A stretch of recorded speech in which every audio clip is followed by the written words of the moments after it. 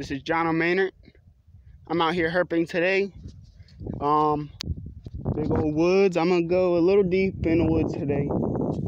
Uh, first thing we found today that we didn't get to capture was a lizard, blue tails, blue tail skink or five line skink, whatever y'all want to call them. And he got away. But we're gonna do some herping today. I got a video of herping yesterday. I got a couple videos from herping yesterday. We found 16 salamanders yesterday. Pretty cool.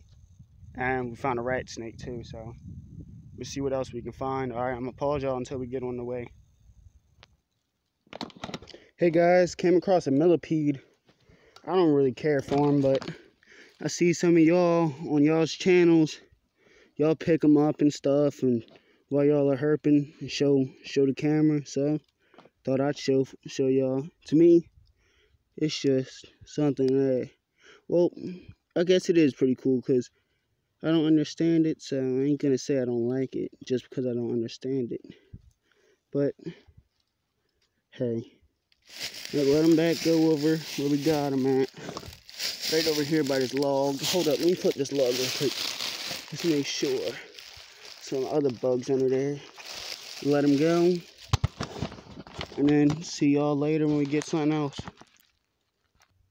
Hey guys, look, down here at this little stream.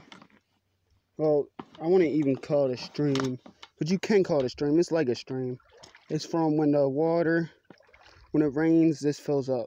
That's basically what I can call it.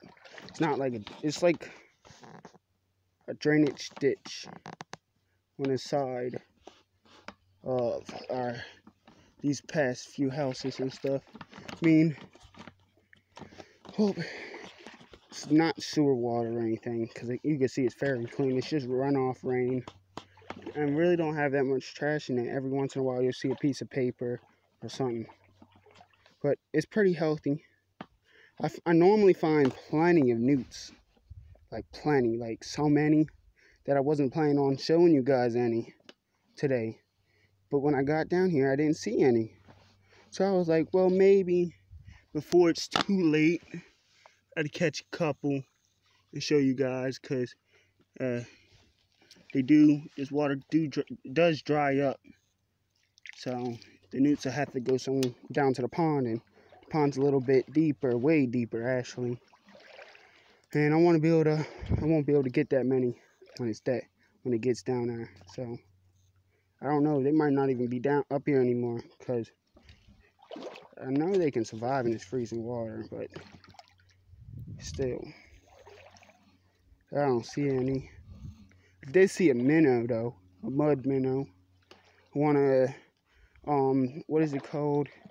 It's a mud minnow. In Maryland, they are endangered species.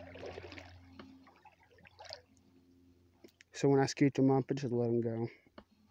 He's not really a herp, it's just a minnow. Like that would be called catching fish, I guess, or minnows. But y'all see this ice is getting a little bit choppy. but there won't be no ice in a couple hours. It's supposed to be 58 degrees today. Right now it's 52 in Denton, Denton, Maryland. Actually, water was slightly getting deeper at it every moment. See ice, guys. So I'll get back to you guys when I catch some.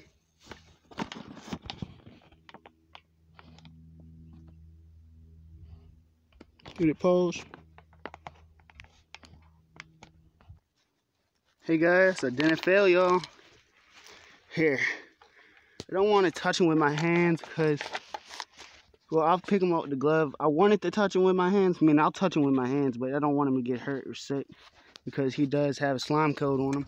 Hey, guys, look. Found marbled. Do you guys see him? Beautiful species.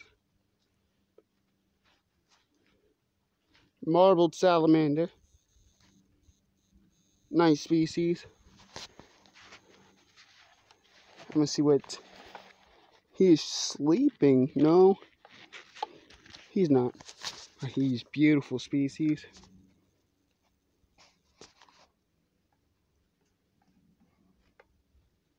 Trying to get a shot of him. Here, let me get him on the ground. Here, I sit him right on this log.